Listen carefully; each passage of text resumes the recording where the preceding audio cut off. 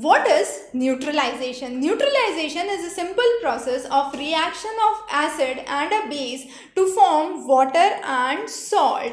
Now, this is the process where heat is released and in this process we have, let's take a very simple example of acid, hydrogen chloride reacts with sodium hydroxide to form the common salt which is NaCl and water. Now, when we have various indicators, we have seen changing colors with the indicators in order to understand how acids and base react.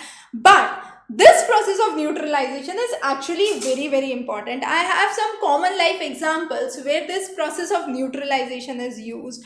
Sometimes you do enjoy the food outside, but when you return back, you feel indigestion. Now this indigestion is because our stomach is acidic. Now when this amount of acid in the stomach increases, you need to have certain base in order to neutralize it. For indigestion, what are the base used? We commonly say antacid is used or milk of magnesia is used. Now all of these are examples where base would react with the stomach acid in order to neutralize the effect and what is the base here? Magnesium hydroxide is the base. Now I take another example. My another example is ant bite. Ant or insects sometimes bite us when we are playing in the garden or outside. What is the acid which is released by the insects? We say it is formic acid commonly. Now this formic acid actually needs to be reacted with a base in order to neutralize. So what can be good examples?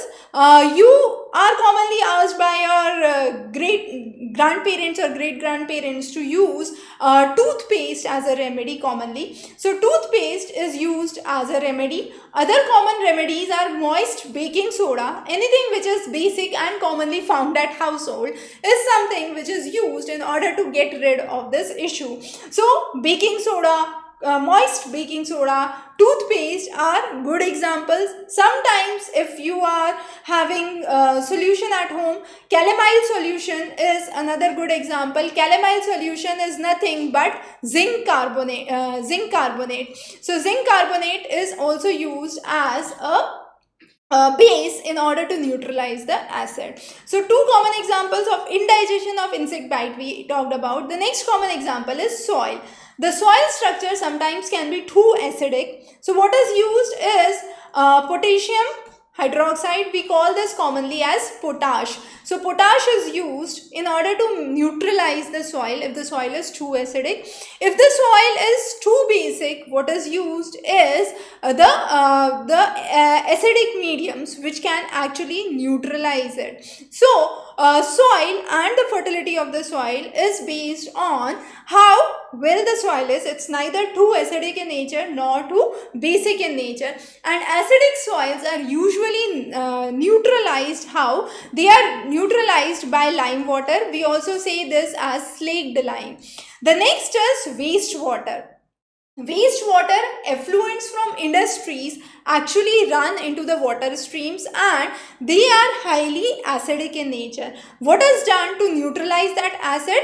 Calcium hydroxide uh, or lime water again slaked lime is commonly used in order to neutralize the industrial effluents which are seen in the water. Now, uh, this is how we understand neutralization. So anything which is either acidic or basic having a pH of less than 7 is acidic, more than 7 is basic, we try to neutralize it at 7 and we call these as neutral substances. So soap is a good example of being a neutral substance. Water definitely is an excellent example of neutral which has a pH of 7, a neutral pH.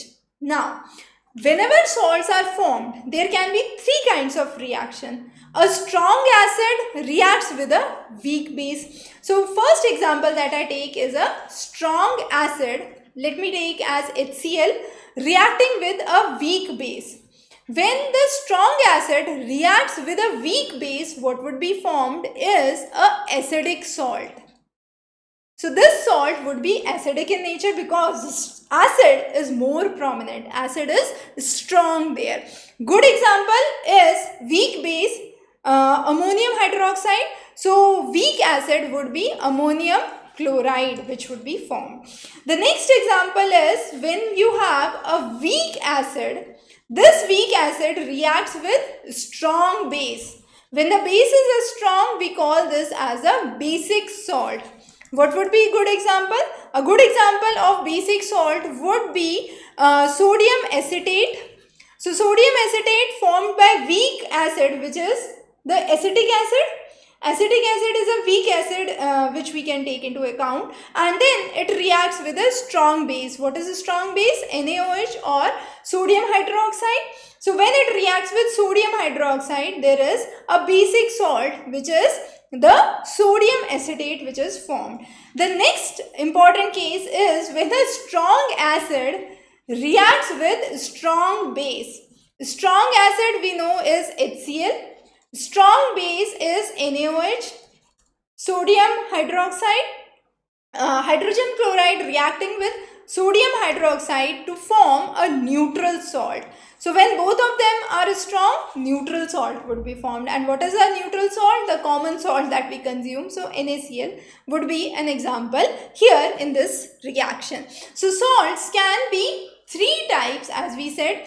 Acidic salts, basic salts and the neutral salts. And how these are formed the reactions we have understood. So a strong acid when reacts with weak base would give you acidic salt. Weak acid and strong base would give you basic salt. And strong acid and strong base would give you a neutral salt. Now talking about some examples of common salts from our life. Now common examples of salt you have ammonium chloride NaCl the common salt used for flavoring used for preservation. Sodium carbonate Na2CO3 commonly used in detergents.